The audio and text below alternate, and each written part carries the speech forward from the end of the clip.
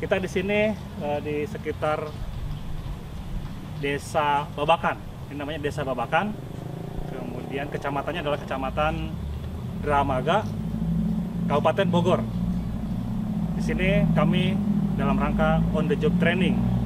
Dalam rangka on the job training kita bekerja sama dengan teman-teman dari kantor pertanahan Kabupaten Bogor. Ini lokasi yang bisa kita gunakan untuk praktek dan juga kita bisa gunakan untuk memperdalam beberapa materi. Kita akan melihat bagaimana kondisi yang dihadapi di lapangan. Mudah-mudahan dengan berbagai materi ini dan juga beberapa tutorial yang akan disampaikan, kita akan uh, semakin menambah wawasan tentang pengukuran dan pemetaan.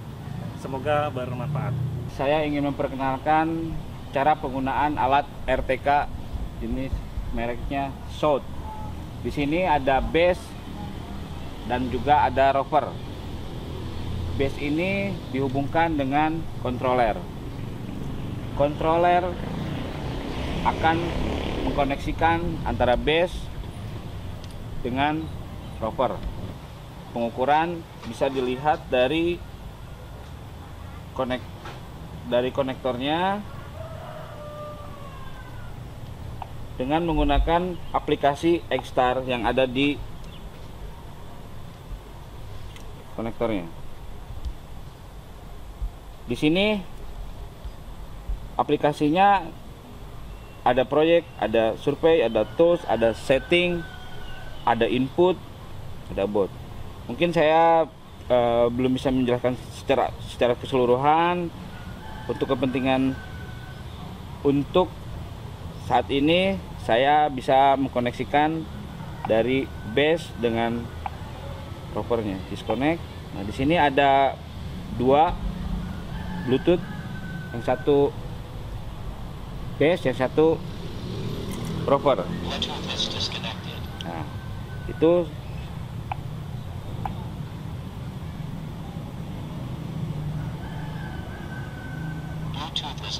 Bluetooth sudah connect dengan alatnya.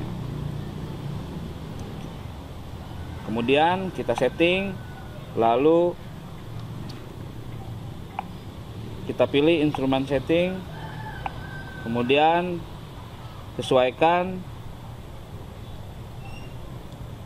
urutan-urutan yang ada di dalam aplikasi ini. Di sini kita pilih internal UHF.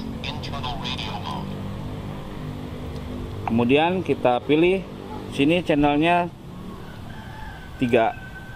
Yang paling penting untuk alat shot itu protokol. Protokol itu kita pilih trim talk selain itu kita tidak memperkena tidak tidak perlu mengklik yang lain. Khusus untuk alat shot itu yang kita pilih trim talk oke? okay? Kemudian kita back. Lalu kita hubungkan antara roper dengan proyektor setting. Disconnect terlebih dahulu. Kita hubungkan dengan roper. Connect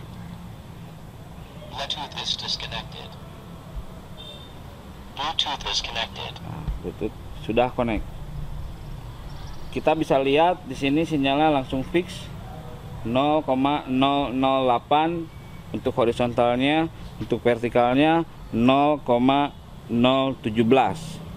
Artinya sudah bisa kita melakukan pengukuran. Untuk pengecekan akurasi alat ini dengan meteran kita bisa melakukan pengukuran di dua titik. Kita ambil titik ini satu.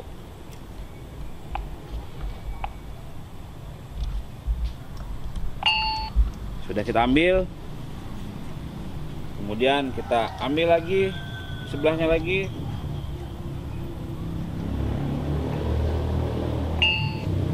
Oke. kita ukur jarak dengan menggunakan meteran sini jaraknya 0,97 ini jaraknya 0,97. Perhatikan teman-teman 0,97. Kita cek menggunakan pilihan tools order spatial distance kemudian kita klik get from database datanya yang ada di dalam base ini kita klik di sana saya kasih kode 1A yang pertama. Yang kedua saya kasih kode 1B oke. Kita klik.